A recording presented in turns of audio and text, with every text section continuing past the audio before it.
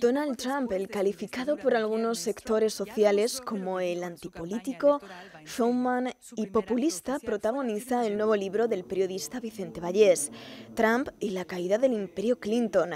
Alumni, la Asociación de Antiguos Alumnos y Amigos de la Universidad de Salamanca, organizó un coloquio en el que, bajo el título ¿Sobreviviremos a Donald Trump?, se abordó el tema de la inesperada victoria electoral de Trump, cómo fue posible o qué impacto puede tener en Estados Unidos y en el resto del mundo.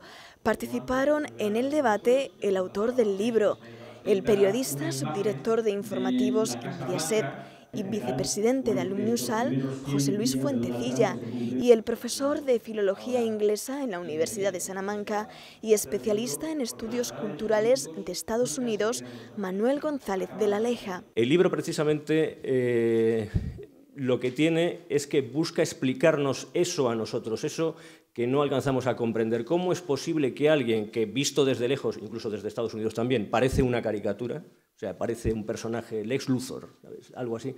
¿Cómo es posible que haya eh, sido elegido en Estados Unidos en contra de los pronósticos de todos los analistas. Donald Trump consiguió, contra todo pronóstico, ganar la presidencia de Estados Unidos frente a Hillary Clinton. Los expertos buscan ahora explicaciones.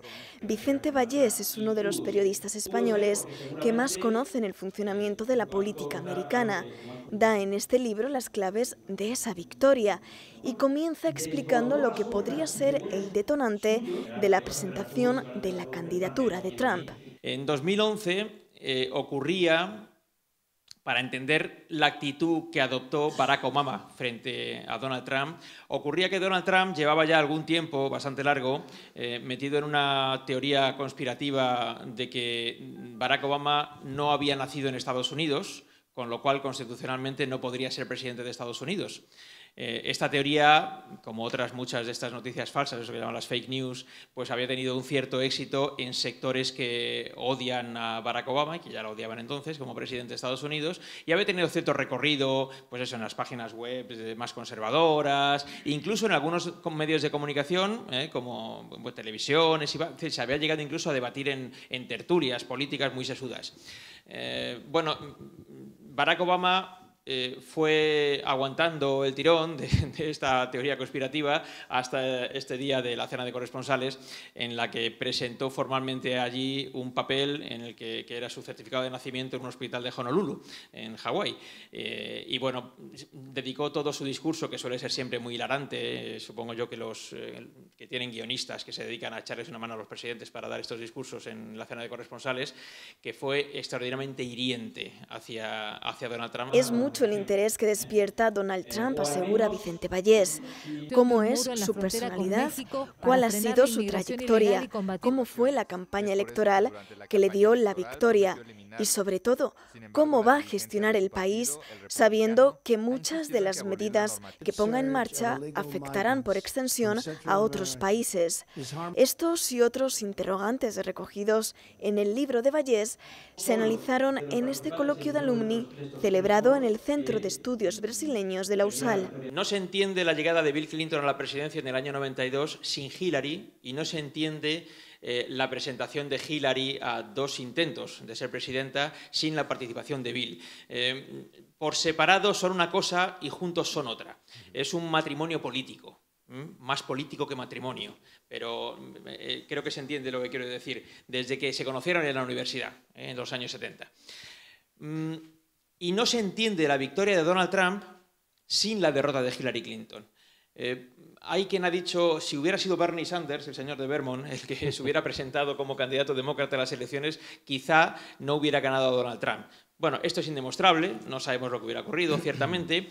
Me cuesta imaginar que un número muy, muy importante de americanos hubieran estado dispuestos a votar a un candidato con eh, una piel lo más parecida posible a la, socialdemocracia, a la socialdemocracia europea, ¿eh? porque digamos, eso es estar muy, muy a la izquierda en Estados Unidos, muy, muy a la izquierda. Aquí es estar simplemente en el centro izquierda, pero en Estados Unidos es estar muy a la izquierda. Y me cuesta imaginar que hubiera conseguido eh, los 66 millones de votos que ha conseguido Hillary Clinton para perder, pero 66 millones de votos. Pero es posible, como eso es indemostrable, pues nunca lo sabremos. Pero sí es posible que un candidato distinto de los dos, de Hillary Clinton y de Bernie Sanders, un candidato demócrata distinto de estos dos, quizá hubiera sido eh, ganador frente a Donald Trump. Es muy informativo, hay muchísima información, eh, pero también eh, crea un argumento de por qué ha pasado lo que está pasando en Estados Unidos y por qué ha pasado lo que ha pasado. ¿no?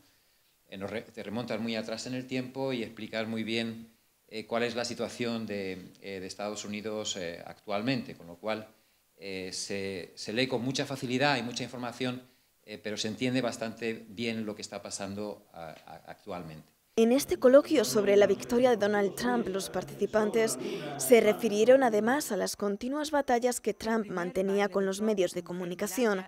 Y es que la relación de Trump con los medios, explicaron en este debate, es una de las prioridades de su mandato. Esa lucha le ha servido, dicen los expertos, para ganar votos de sectores de la población descontentos con el sistema. Y uno de esos pronósticos, el que más yo creo se había impuesto en los últimos años, era que eh, la demografía es el destino. El Partido Republicano se estaba quedando en un partido reducido a blancos del sur y no sabía eh, aproximarse, acercarse, ganarse a las minorías. Y por tanto, en la medida en la que esa mayoría todavía, es mayoría de los blancos en Estados Unidos, pero en fin, cada vez menos, se va reduciendo, las perspectivas políticas del Partido Republicano eran negras. Y de repente llega Donald Trump, y llega Donald Trump no como un candidato que intente ganarse a los hispanos o a los, en fin, las mujeres, eh, los negros, etcétera, eh, sino como un candidato que explota, esto me parece lo más interesante, a ver si más adelante podemos hablar de ello, eh, em, se mete en una cruzada contra lo políticamente correcto. Donald Trump se presentó como lo, lo incorrecto políticamente, dirigió su mensaje hacia los blancos, ignorando, incluso despreciando a muchas de las minorías en Estados Unidos. todo eso lo hizo, y aquí no voy a dar un dato, sino una intuición personal. Yo creo que lo hizo porque él daba por hecho que no iba a ganar, pero se quería quedar a gusto. Y sabía que había un sector social muy importante en Estados Unidos que quería oír ese discurso, aunque no fuera mayoritario, aunque pensáramos que no era mayoritario. ¿eh?